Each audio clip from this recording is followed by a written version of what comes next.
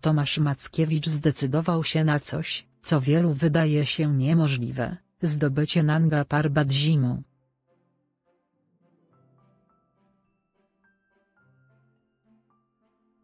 Mimo że polski himalaista poniósł śmierć, jego wyczyn znajduje teraz naśladowców.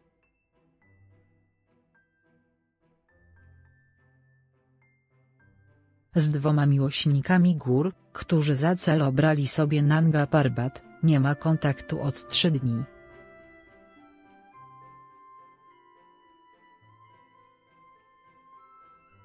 Tomasz Mackiewicz zginął na zboczach Nanga Parbat w styczniu 2018 roku. O jego szalonej wyprawie w celu zdobycia szczytu podczas zimy było bardzo głośno, a Polacy podzielili się przy wygłaszaniu opinii.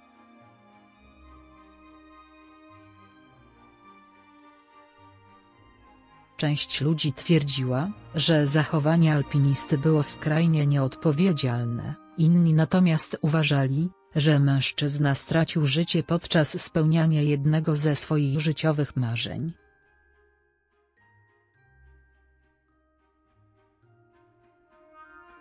Okazało się, że jego zachowanie znalazło naśladowców, bowiem w drogę jakiś czas temu wyruszyła inna ekipa, która postawiła sobie dokładnie ten sam cel.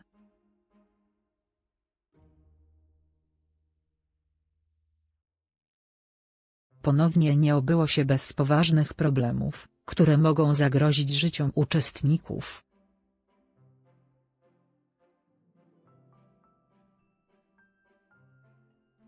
Pozostaje obecnie mieć nadzieję, że nie skończy się to dramatem. Tomasz Mackiewicz ma naśladowców? W celu zdobycia Nanga Parbat wyruszyła wyprawa złożona z alpinistów australijskich, włoskich, rosyjskich, kazachskich oraz kirgiskich.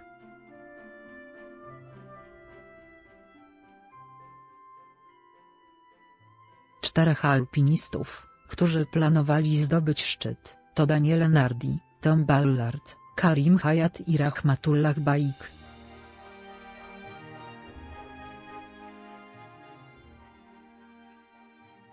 Co ważne, dwaj ostatni zdecydowali się na przerwanie swojego udziału w misji z powodu bardzo trudnych warunków atmosferycznych.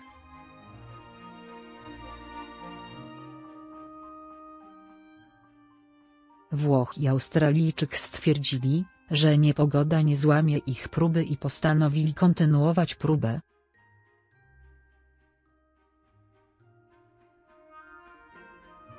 Niestety, pojawiły się dramatyczne wiadomości udostępnione przez członków wyprawy.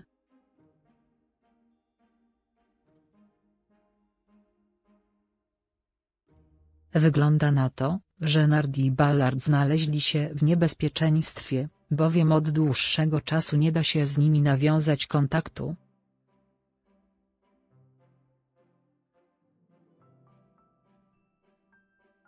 Jak twierdzi portal wspinanie.pl, ostatni kontakt pomiędzy alpinistami i bazą miał miejsce trzy dni temu, gdy znajdowali się oni na wysokości 6300 metrów.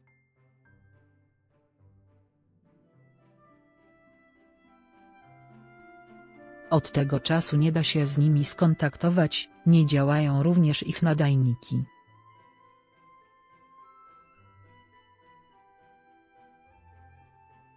Niektórzy zaczęli nawet już spodziewać się najgorszego.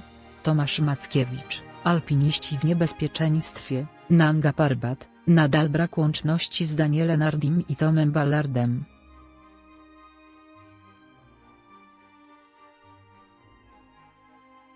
Organizowany jest lot śmigłowca z pakistańskim himalaistą Alim Satparą w celu sprawdzenia sytuacji z powietrza.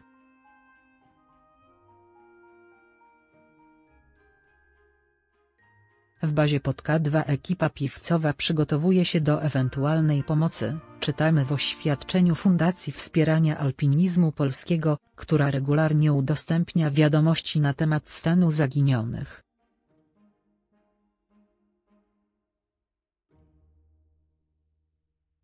W ubiegłym roku na zboczach Nanga Parbat zginął Tomasz Mackiewicz, który zdecydował się na podobny ruch i nie przerwał swojej próby pomimo katastrofalnej atmosfery.